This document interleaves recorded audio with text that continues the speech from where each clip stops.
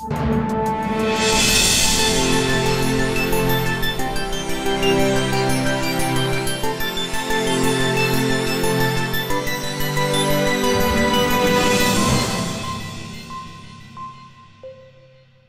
вечер. Вы смотрите «Пятницу» с Анатолием Голя на РТР Молдова. Главное событие этой недели – ратификация в парламенте соглашения об ассоциации с Европейским Союзом. За ратификацию проголосовало 59 из 101 депутата. Сколько на самом деле молдавских граждан поддерживает этот документ, сказать сложно. Судить об этом можно будет, наверное, по результатам парламентских выборов, которые состоятся 30 ноября нынешнего года. Каковы же будут результаты от внедрения соглашения со знаком плюс или минус, будет видно еще позже. И зависит это прежде всего от молдавских граждан, не только от политиков, но и от каждого из нас. А Запад, как принято говорить в таких случаях, нам поможет.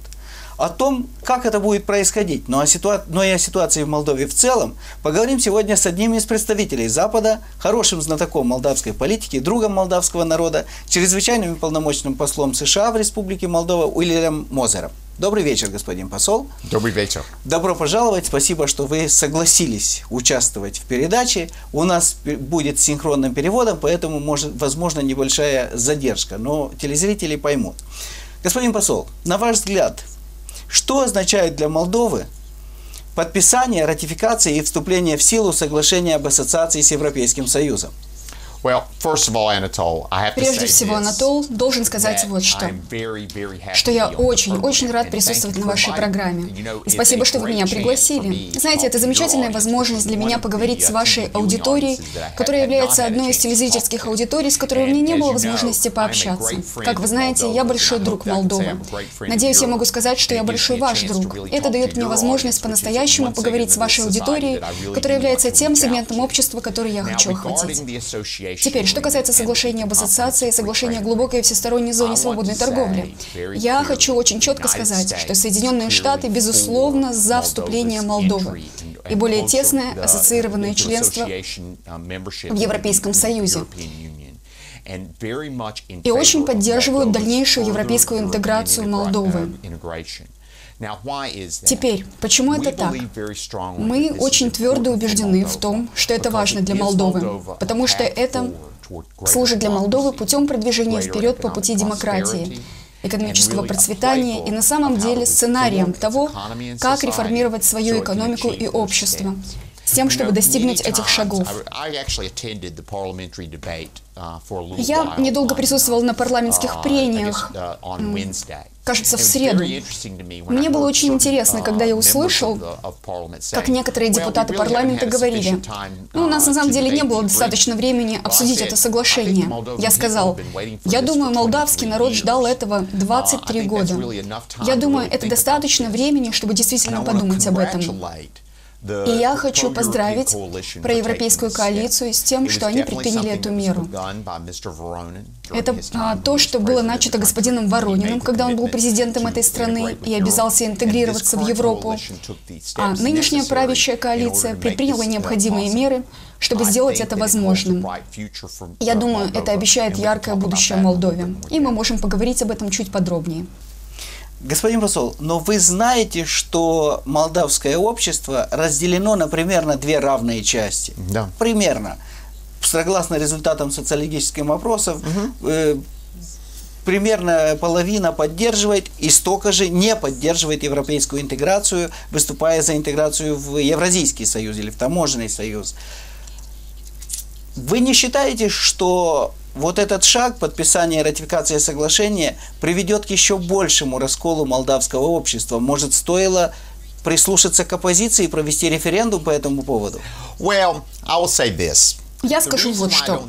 Причина, по которой я не думаю, что в этом случае референдум – это правильный способ решения этого вопроса, потому что для этого существуют выборные представители. И вы знаете, я думал об этом, когда этот вопрос возник. Много лет назад, думаю, это было почти 20 лет назад, у нас было то, что называлось Североамериканское соглашение о свободной торговле с Мексикой и Канадой. И это было по-настоящему крупное торговое соглашение между между нашими тремя странами. Референдум об этом никогда не проводился, потому что мы считали, что оптимальный способ решения этого посредством наших выбранных представителей. Состоялось голосование в Конгрессе, которым это соглашение было одобрено. И это очень общепринятая практика для соглашений такого рода. Теперь, хоть еще немного поговорить о расколе в молдавском обществе по этому вопросу. И вы поднимаете очень-очень важный вопрос. Я знаю, что соглашение об ассоциации и соглашении о глубокой всесторонней зоне, зоне свободной торговли не поддерживаются единогласно. Но я думаю, что лучше всего решать этот вопрос в рамках выборного процесса.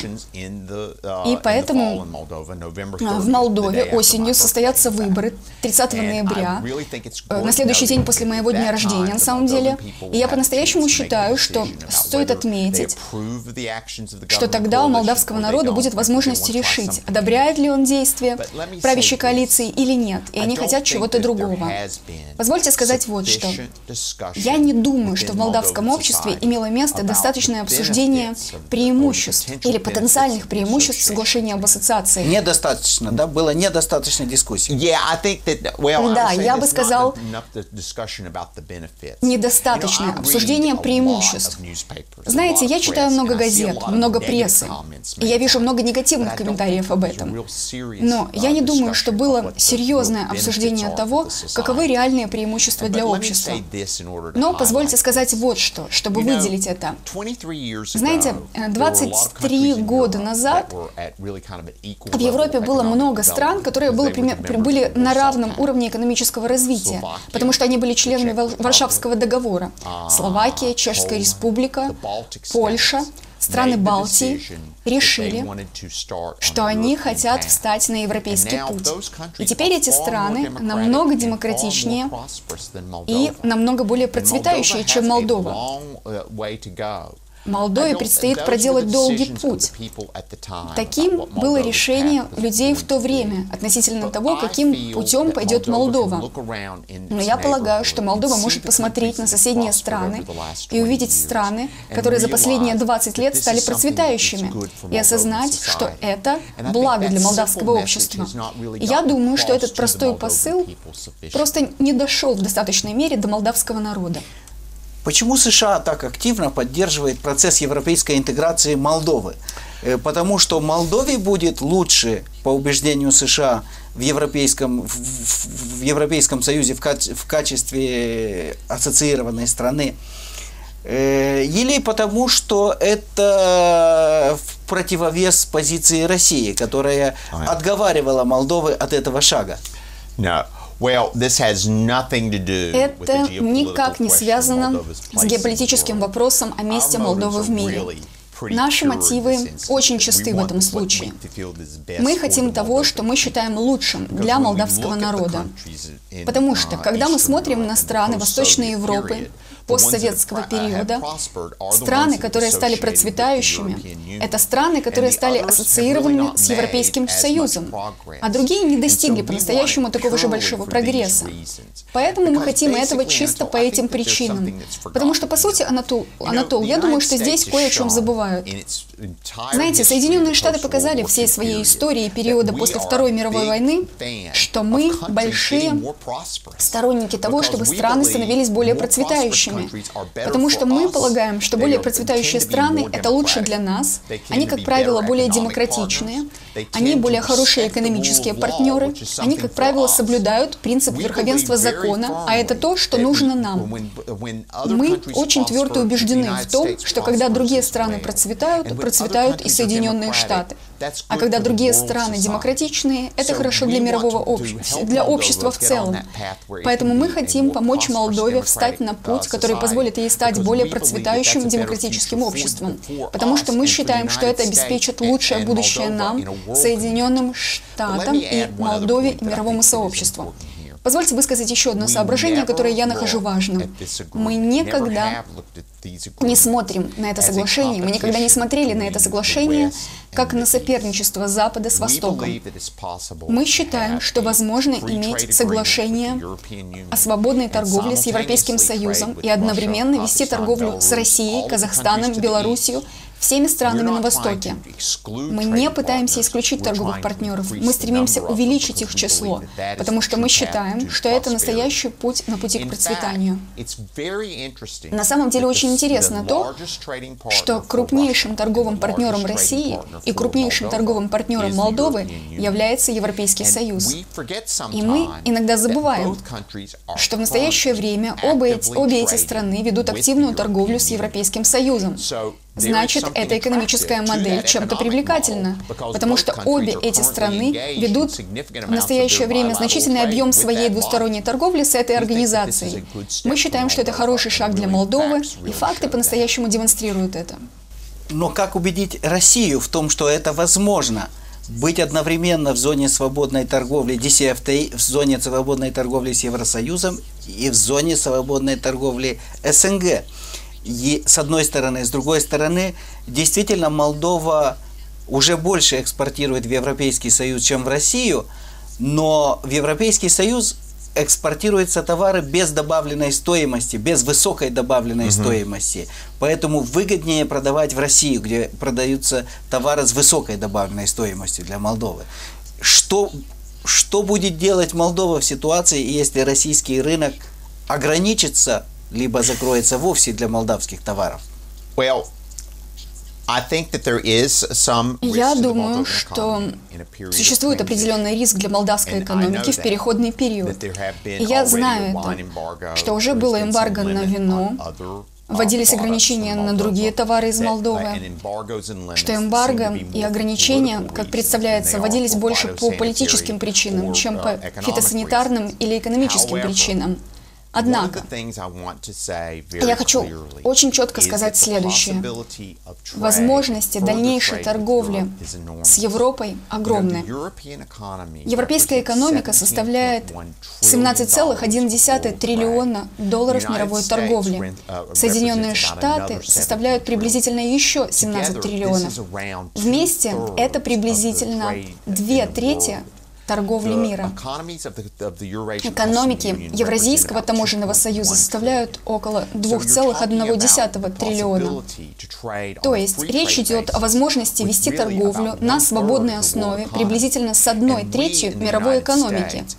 И мы в Соединенных Штатах и наши европейские партнеры очень надеемся на то, что в следующие несколько лет посредством так называемого трансатлантического торгового инвестиционного партнерства наши торговые торговые связи дополнительно укрепятся. Иными словами, чтобы объяснить доходчиво вашей аудитории, Соединенные Штаты готовятся подписать или стараются вести переговоры по соглашению о глубокой всесторонней зоне свободной торговли с Европейским Союзом. Мы считаем, что это такое хорошее дело. Я знаю, что возможны определенные экономические последствия для Молдовы в переходный период. И Соединенные Штаты будут работать с молдаванами над решением возможных трудностей трудностей. Но я скажу, что потенциал для Молдовы в крупных торговых зонах, таких как Европейский Союз, и, возможно, зоны, которая также будет включать в себя Соединенные Штаты, огромная экономическая возможность. Экономическая возможность, которую, я не думаю, Молдова может упустить. Вы полагаете, что после э, вступления в силу соглашения об ассоциации э, Молдовы с Европейским Союзом возрастет и объем э, торгово-экономических связей Молдовы и США? It's possible. Возможно, потому что я думаю, что э, наша экономика будет теснее связана с Европой в будущем. Но также я думаю, что следует упомянуть еще кое-что. Соглашением о торговле Европейского Союза требуется соблюдение определенных стандартов, в частности фитосанитарных стандартов. И когда молдавские товары соответствуют им, это облегчает их поступление на рынок ЕС.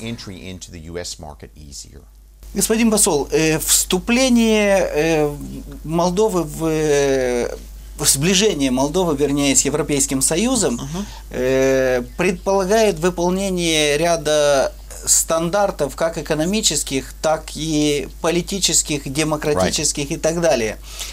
Вы неоднократно критиковали и, до, и довольно жестко критиковали молдавские власти за медленную реформу юстиции, угу. медленное осуществление, за недостаточный уровень демократических свобод, особенно за борьбу с коррупцией, которая оставляет желать right. много лучшего. Исходя из опыта США, где эти проблемы в значительной степени решены, что бы вы посоветовали молдавским властям в нынешней новой ситуации, когда пройден определенный этап, но есть и, определ... и, и, и амбициозные цели добиться и перспективы членства в Европейском Союзе, что должны делать для того, чтобы люди чувствовали, что эти проблемы решаются и что сближение с Европейским Союзом этому способствует?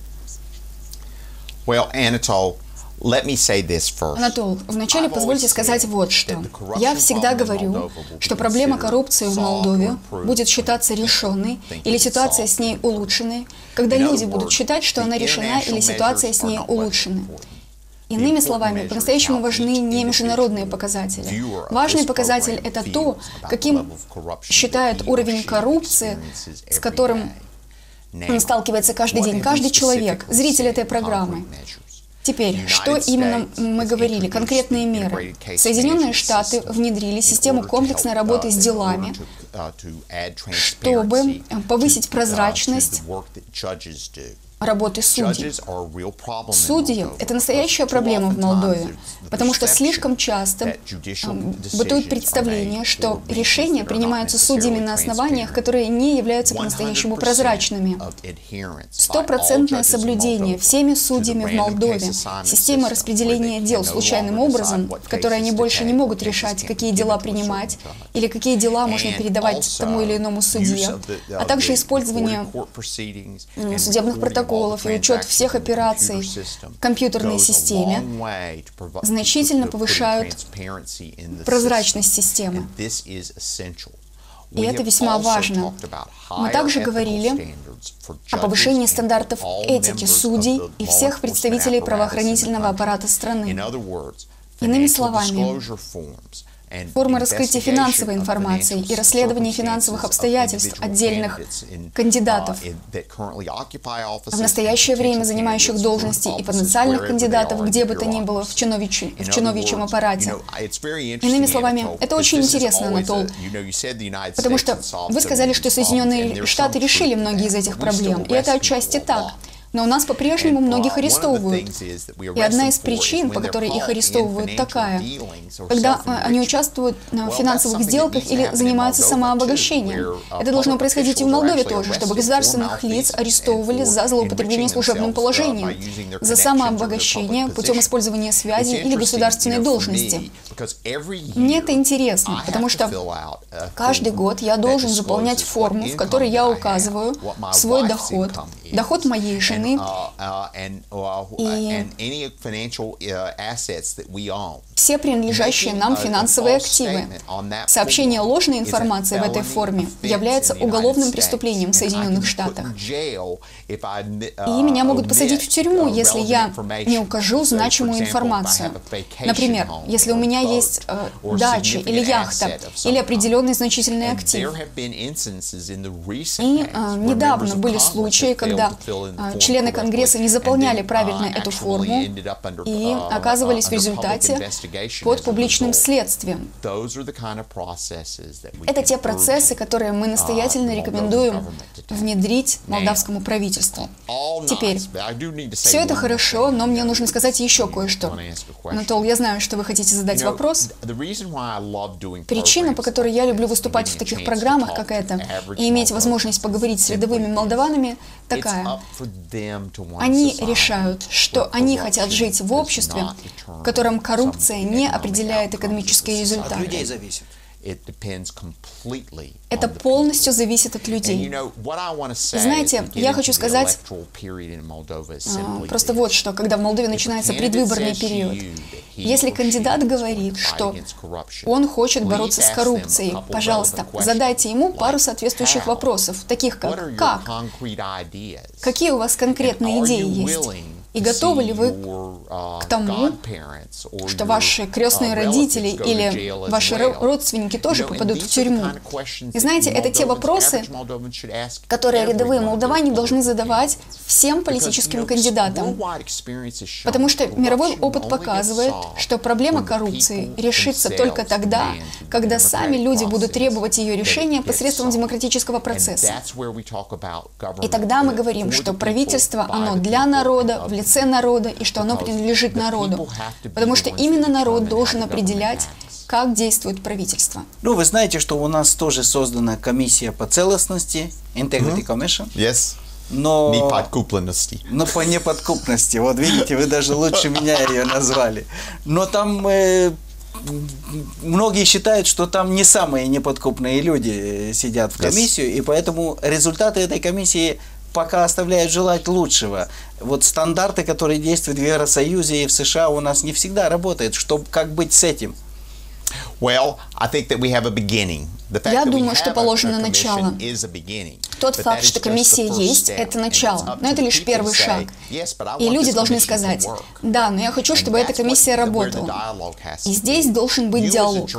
Вы, как журналисты, журналисты печатных СМИ и других органов СМИ, должны сделать так, чтобы это был вопрос важный для вас, потому что вы на самом деле представляете голос народа. И если ваши зрители будут ожидать того, что ситуация изменится, они должны просить, чтобы вы освещали эти вопросы. То же самое, когда придет время идти на избирательные участки, потому что это тот момент, когда э, у людей есть возможность сделать выбор, но они должны требовать этого от руководства и говорить, да, мы хотим соблюдения этого, пожалуйста, решайте эту проблему. И, как я говорил, в столь многих странах мира эта проблема в конечном итоге была решена таким образом. Э, все мы знаем, я имею в виду граждан, что Молдова получает в последние годы значительную часть, э, значительную долю помощи из-за рубежа. Угу. Это как э, кредиты, так и безвозмездные дотации, угу. гранты, в том числе от Соединенных Штатов. Я хотел, чтобы вы вкратце рассказали, удовлетворены ли тем, как внедряются эти проекты в Молдове, ну, Millennium Changer и угу. другие. И есть ли коррупция во внедрении вот этих проектов? Потому что граждане очень много, и вот есть у меня вопросы телезрителей, которые я задам во второй угу. части программы, которые э, спрашивают, почему Запад, в частности США, допускает, чтобы разворовывались средства из этих э, грантов. Да. Прежде всего, хочу сказать, что одним фактом я очень горжусь, что за 20 лет независимости Молдовы, чуть более 20 лет, мы предоставили Молдове помощь в размере около 1,2 миллиарда долларов. Uh, Это много денег. Теперь, что касается предусмотренных нами мер uh, контроля в отношении этого, в отношении коррупции или возникающих проблем. Прежде всего, хочу сказать, что по нашей крупнейшей программе «Вызовы тысячелетия» в размере 262 миллионов долларов действуют очень-очень жесткие меры контроля в процессе закупок и в процессе исполнения, чтобы, ну, может быть, если не исключить, но значительно сократить коррупцию, даже в очень коррумпированных обществах. И мы знаем, как правильно выстроить систему закупок. Очень интересно, потому что, знаете, недавно я был на дороге М2 в Гандешт, где осматривал uh, построенную нами железнодорожную ветку, uh, которая будет работать параллельно с реконструированной автомобильной дорогой. И это очень интересно, потому что один из вопросов, uh, на котором я делал акцент журналистам там, был такой. Смотрите, можно построить дорогу, которая прослужит 50 лет, если при строительстве дорог заключать контракты без коррупции. То же самое касается наших проектов в области орошения. Они реализуются таким образом, чтобы процесс подачи заявок был прозрачным. Он открыт для международных участников торгов, и мы осуществляем мониторинг того, как он проводится. У нас жесткие меры контроля.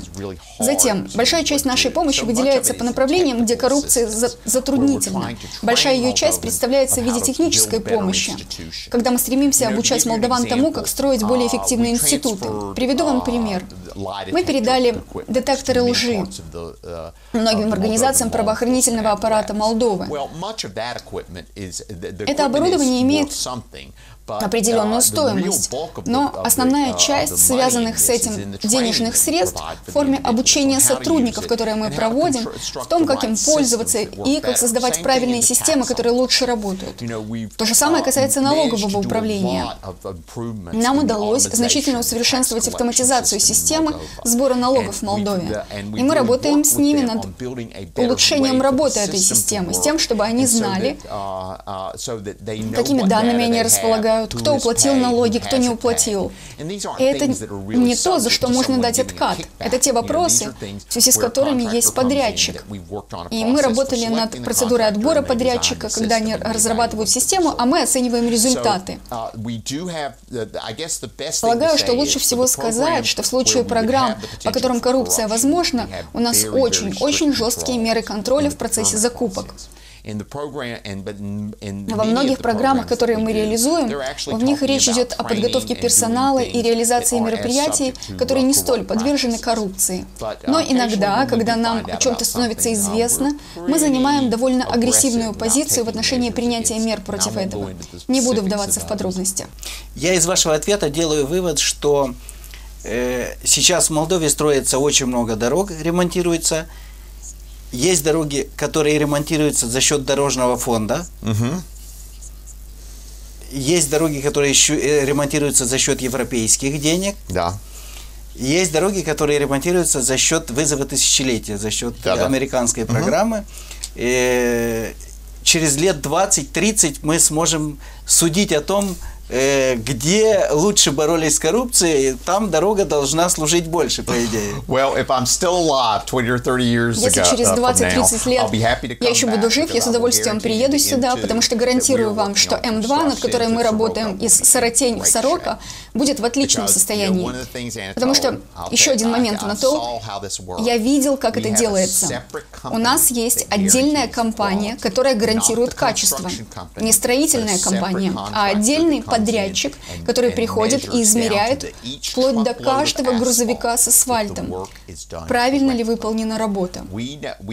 И если через 20 лет в дороге будет дефект, мы будем знать, кто был водителем грузовика в тот день и в каком он был грузовике. И это потому, что в период строительства должны быть предусмотрены стандарты качества. И не должно быть дорог, которые мы столь часто видим, когда каждый год весной после первого снега заделывают колдобины, и, а, но потом сразу вымываются. Это то, что мы пытаемся изменить. Я вам желаю, чтобы лет через 25-30 вы приехали в Молдову, мы поедем на машине к Саратене, и оттуда покатаемся на велосипеде, как вы уже катались по этой дороге. Okay, good. Обещаете? Okay, а я обещаю. Господин посол, мы договорились, что во второй части поговорим о геополитике и о ситуации в Приднестровье. Я хотел вас спросить, вернуться к соглашению об ассоциации с ЕС. Вы не разделяете опасения о том, что соглашение может э, окончательно похоронить усилия Кишинева по реинтеграции Молдовы, что Молдова может потерять Приднестровье? Well, I think that's actually a very, very good question. Я думаю, что это на самом деле очень, очень хороший вопрос, Анатол. Но я скажу следующее. Знаете, я много об этом думал, и я обсуждал это со своими европейскими коллегами. В частности, uh, когда мы говорили о том, в каком направлении, как мы думаем, должна двигаться Молдова, и в каком направлении должно двигаться Приднестровье. Скажу, а, что я думаю, что у сепаратистского региона не должно быть права вето в отношении целесообразных решений, благоразумных решений молдавского правительства, которые необходимо принимать молдавскому правительству, чтобы улучшить жизнь собственного народа. И знаете, я скажу, я твердый а, сторонник того, что соглашение об ассоциации и соглашение о глубокой всесторонней зоне свободной торговли служат способом развития развития экономики, демократии и процветания. По мере того, как это будет происходить, Приднестровье будет все более привлекать реинтеграция, потому что они осознают, что проевропейский путь может принести экономический успех и им. Одна из причин, по которых я действительно твердо убежден в том, что это так, состоит в том, что в настоящее время в Приднестровье насчитывается чуть менее тысячи предприятий, которые зарегистрированы как молдавские предприятия, потому что они ведут торговлю с Европейским Союзом по системе автоматизированных торговых преференций, предоставленных Европейским Союзом Молдове. В настоящее время они уже ведут торговлю главным образом с Европейским Союзом, или по большей части с Европейским Союзом. На этой неделе была опубликована статья в независимой газете,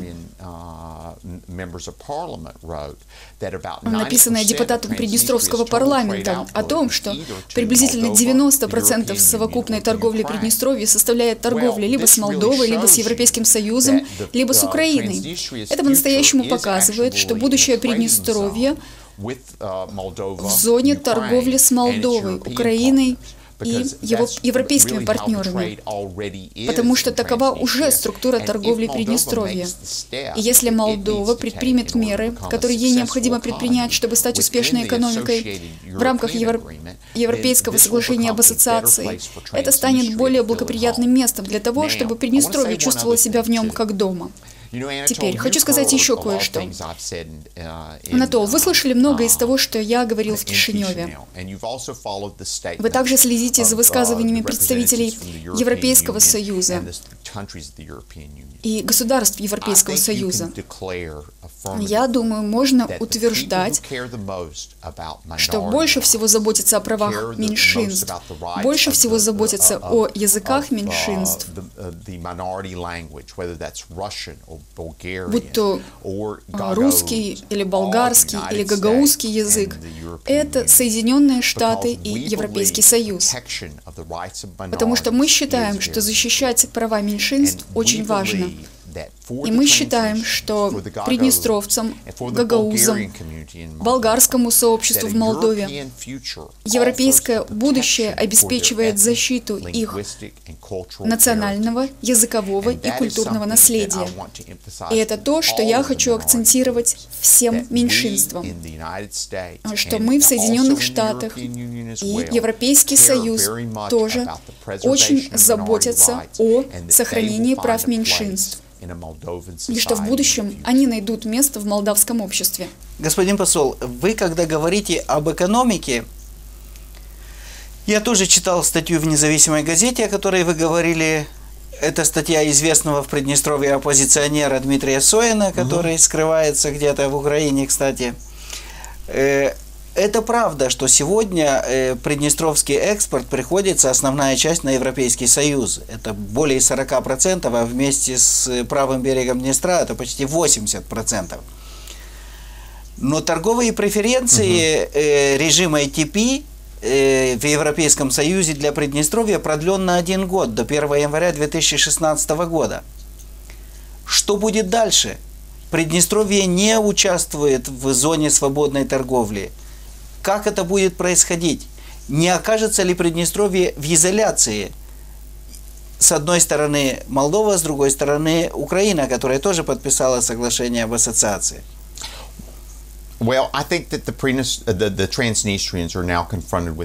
Думаю, приднестровцы стоят сейчас перед очень серьезным выбором. Европейский Союз проявил большую щедрость, продлив действие этих торговых преференций еще на полтора года. Но сейчас приднестровцы должны решить, как они будут строить свое будущее. Я по-настоящему думаю, что они должны посмотреть на соседние страны и посмотреть на выбор, сделанный суверенной Украиной, и выбор, сделанный суверенной Молдовой, и осознать, что их будущее с этими двумя странами, потому что это небольшая территория, которая находится между этими двумя странами. И, как я сказал, структура торговли уже указывает на это, что выбор должен быть для них вполне логично. Но они также должны четко подумать о том,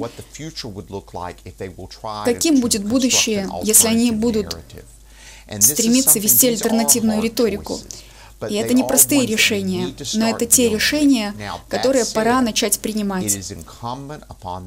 Вместе с тем, молдавская сторона в рамках переговоров в формате 5 плюс 2 и на других форумах должна приглашать Приднестровье в обратно в интегрированную Молдову. И делаться это должно в духе того, что э, мы э, стремимся сохранить страну целой, а не разделенной. И думаю, все стороны должны признавать, что необходим компромисс, что необходима децентрализация власти. Это то, о чем я говорю снова и снова, в связи как с Приднестровьем, так и Гагаузией и э, всеми другими местными юрисдикциями Молдовы. Что мы очень твердо твердо убеждены в том, что лучше всего руководит правительство, близкое к народу. Я думаю, это очень важная концепция, и мы в Соединенных Штатах твердо в нее верим.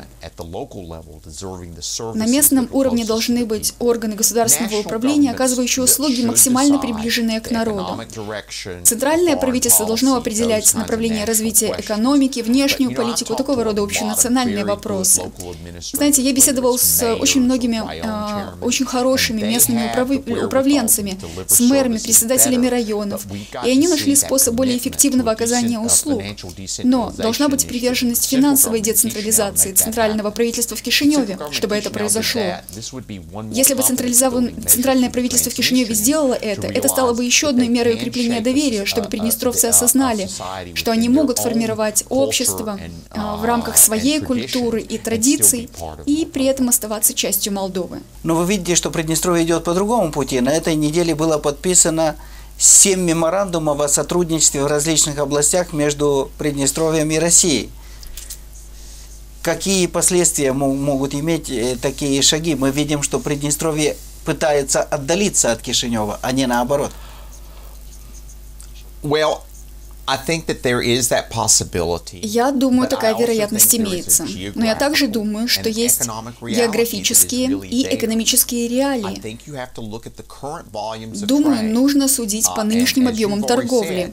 И, как вы уже сказали, это значительные объемы торговли uh, как с Молдовой, так и со странами Европейского Союза.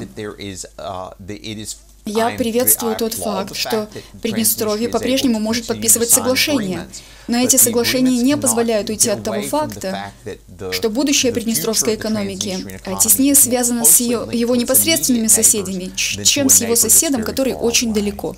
Господин посол, э, по ситуации на Украине, мы видели, что на этой неделе на пресс-конференции в Москве э, господин Шевчук, лидер Приднестровья, Э, сказал о том, что поток граждан, которые путешествуют, пересекают границу угу. с Украиной из Приднестровья, сократился более чем в три раза.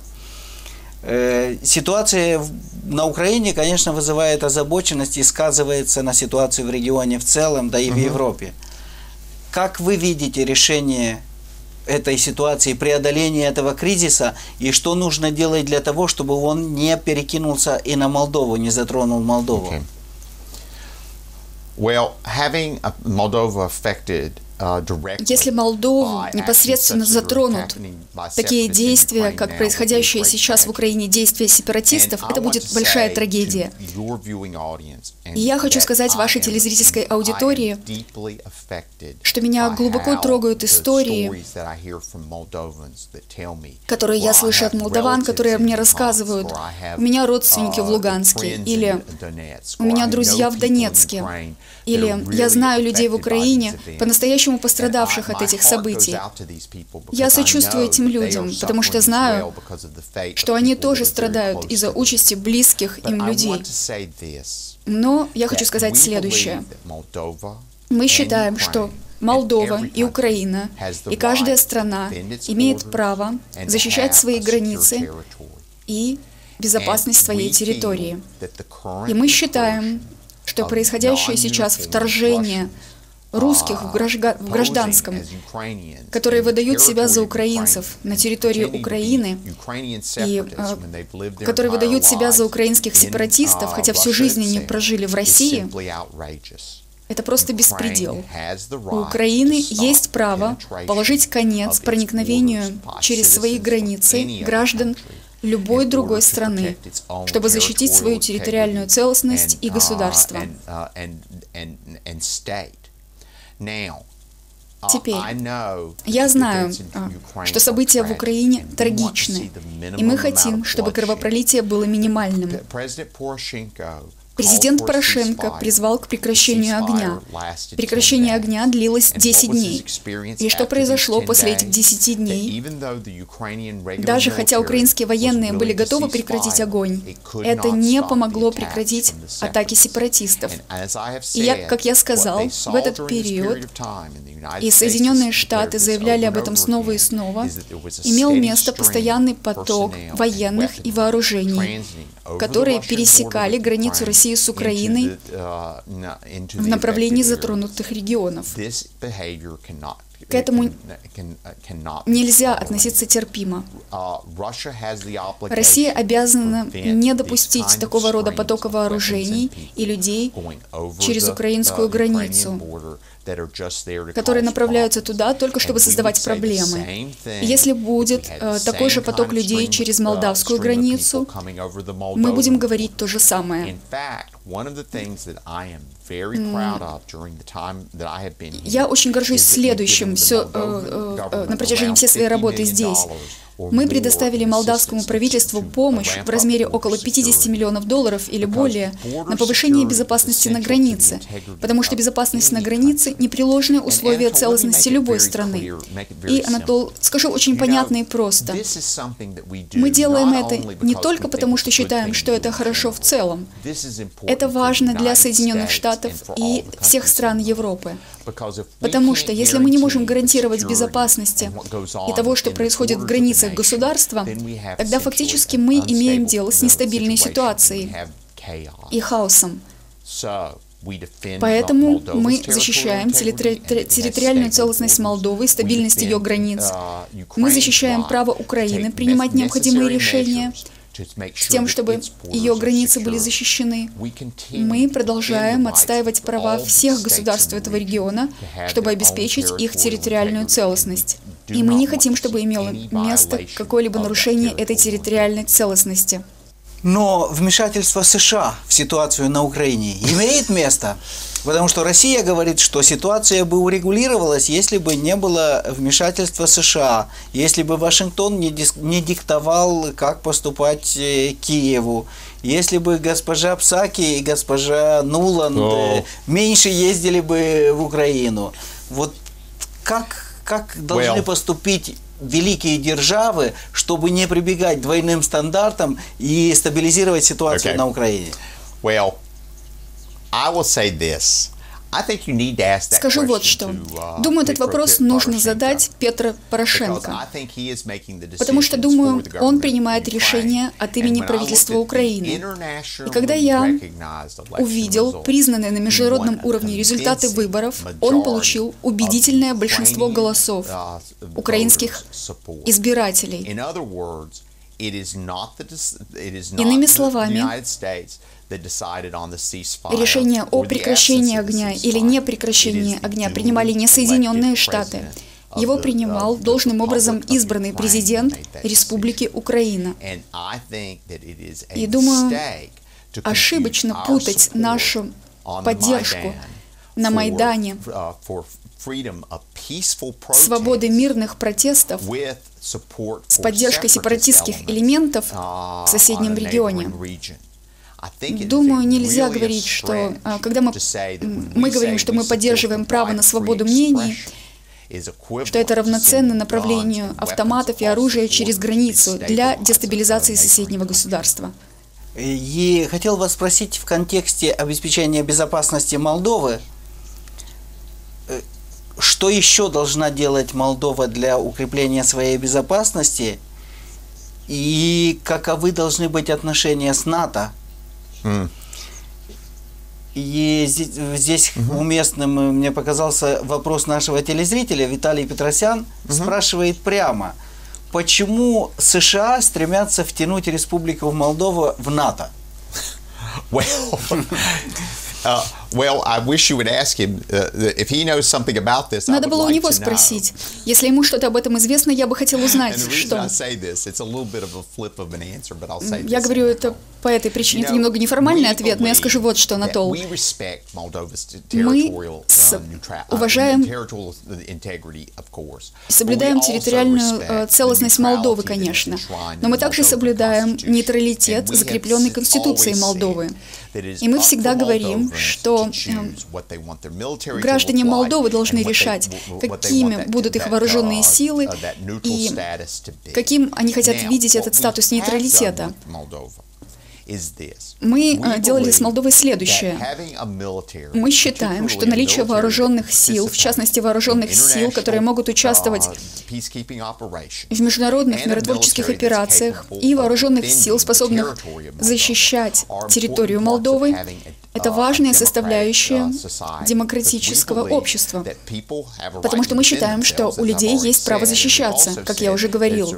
И мы также говорим, что а, благом для Молдовы является наличие вооруженных сил, которые могут работать с международным обществом и государствами и помогать другим а, странам а, в миротворческих операциях.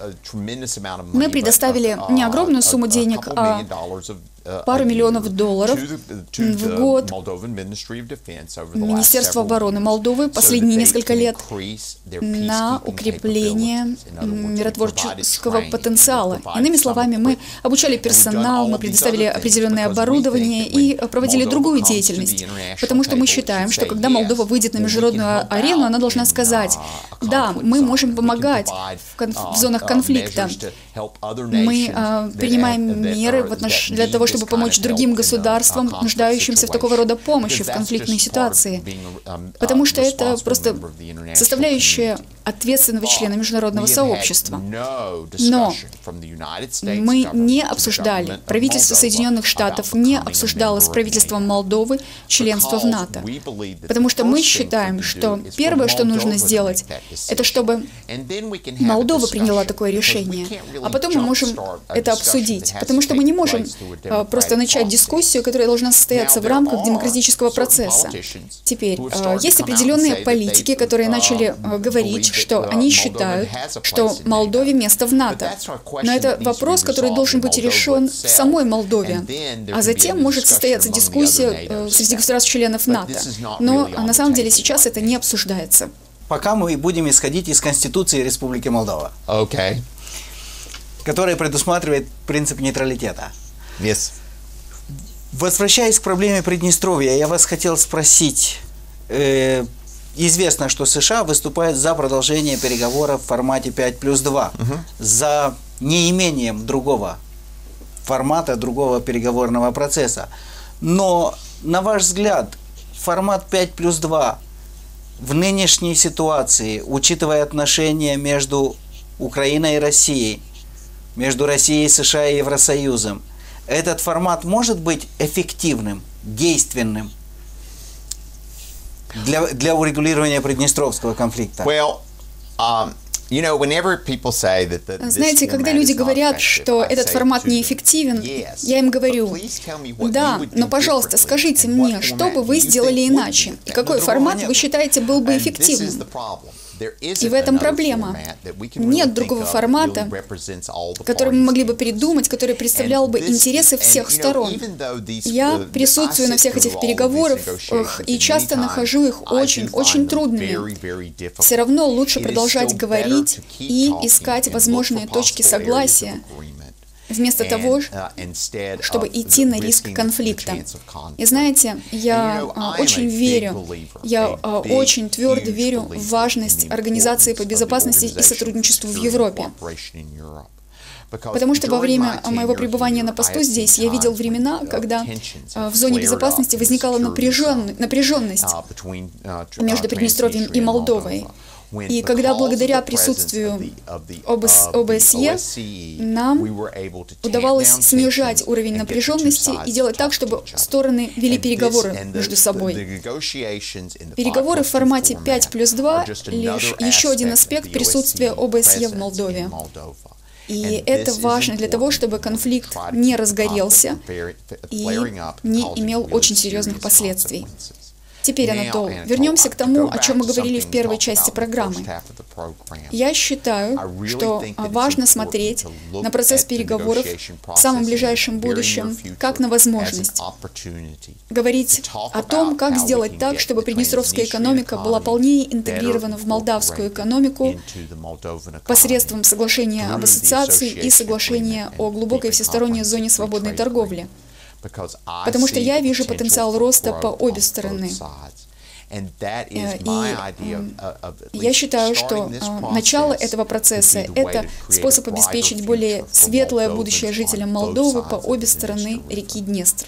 Спасибо. К сожалению, наше время практически истекло в эфире, но я вам хотел задать еще вопрос о том, э, какой подарок вы ожидаете на свой день рождения – 30 ноября от молдавских граждан, которые в этот день должны идти на избирательные участки. Well, I will say that my birthday is the day before. Мой день uh, рождения uh, накануне. Он 29 ноября, а не 30 ноября. И э, в этом году мой день рождения был очень-очень счастливым, uh, потому что в этот день Молдова подписала соглашение о глубокой всесторонней зоне свободной торговли и соглашение об ассоциации в Брюсселе. Да, парафировала в этот день, uh, не подписала. И это был очень uh, хороший способ отпраздновать мой день рождения. В этом году, знаете, чего я жду в этот день?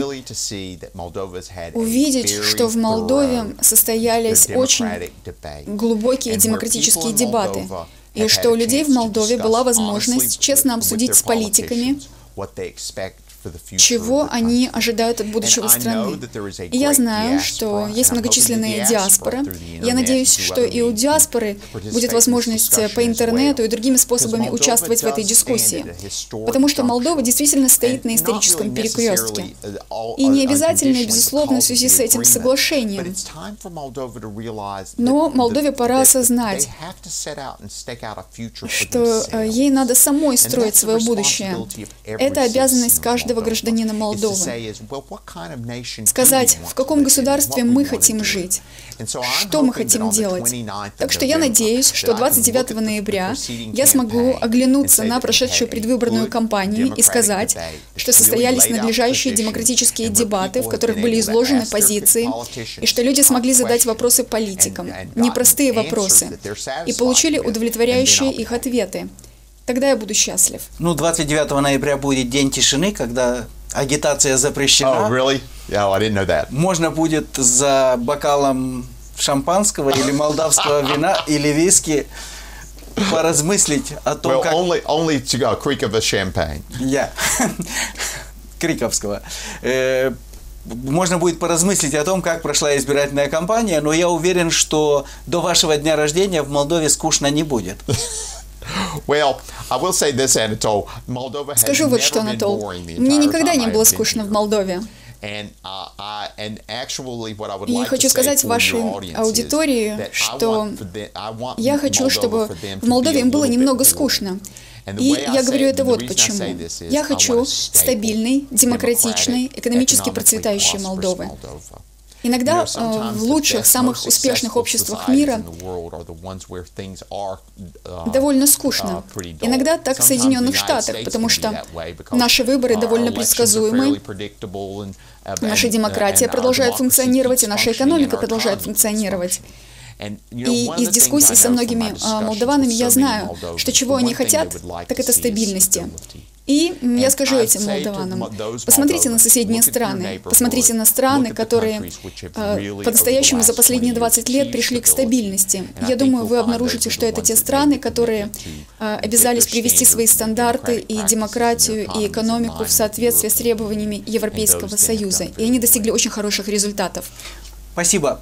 Я тогда желаю, пользуясь тем, что сегодня День независимости США, я вас поздравляю с праздником. Thank you very much. Счита... Э, желаю, спасибо. чтобы у вас было относительно скучно, стабильно и спокойно, как и у нас. И себе то же самое желаю. Thank Ща... you very much. Счастья, здоровья вам лично. Yes. Ваш мандат завершается в этом году, но я надеюсь, что мы еще раз успеем до завершения мандата чтобы вы поделились больше личными впечатлениями о Молдове. Надеюсь, сможем. И учитывая, какой сегодня день, должен сказать с днем рождения Соединенные Штаты Америки и э, народ Молдовы от имени нашего великого народа. Спасибо. С праздником вас. Спасибо за участие в передаче. Thank you. Уважаемые телезрители, это был диалог с послом США в Молдове Уильямом Мозером. Я Анатолий Голя. До встречи в пятницу. Всего вам доброго.